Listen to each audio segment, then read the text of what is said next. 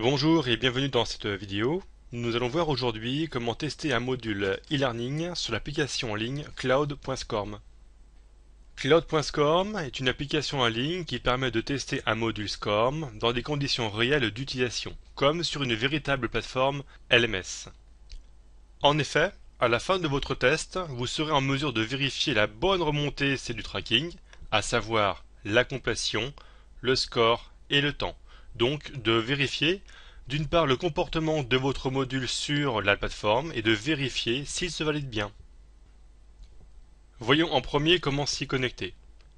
Donc il faut aller sur le site cloud.scorm pour vous créer un compte gratuit avec un espace de stockage de 100 mégas et ensuite vous cliquez sur Sign Up Now. Donc ici on vous demande de remplir un formulaire donc vous le remplissez et ensuite vous cliquez sur Select pour sélectionner l'offre gratuite avec 100 mégas de stockage.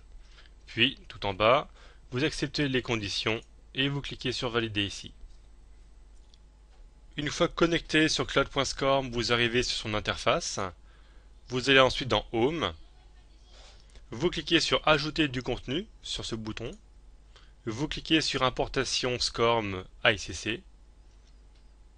Vous cliquez sur le bouton Parcourir. Et si vous recherchez dans votre disque dur votre module, vous le sélectionnez et vous cliquez sur Ouvrir. Puis, pour lancer l'importation, vous cliquez sur Import course. Après avoir importé mon module sur CloudScorm, j'arrive dans la librairie qui m'indique le nom du module avec sa norme. Ici c'est la SCORM 2004. Pour lancer le test, je vais cliquer sur Launch Test. Je patiente et le module va se lancer dans une pop-up. Comme ceci. Donc j'arrive sur la première activité de mon module et je vais faire mon module du début jusqu'à la fin, puis je vais le quitter. J'ai terminé ce premier passage sur ce module avec un score de 78%. Je vais donc se le quitter, soit par le bouton quitter donc c'est de mon module, ou je ferme euh, directement la fenêtre de mon navigateur ici.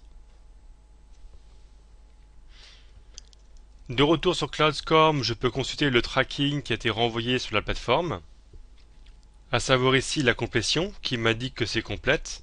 Cela indique que je suis passé sur toutes les activités de mon module. Success Passed indique que j'ai atteint le score de validation. J'ai obtenu un score de 78% et j'ai passé un temps de 10 minutes et 39 secondes sur ce module.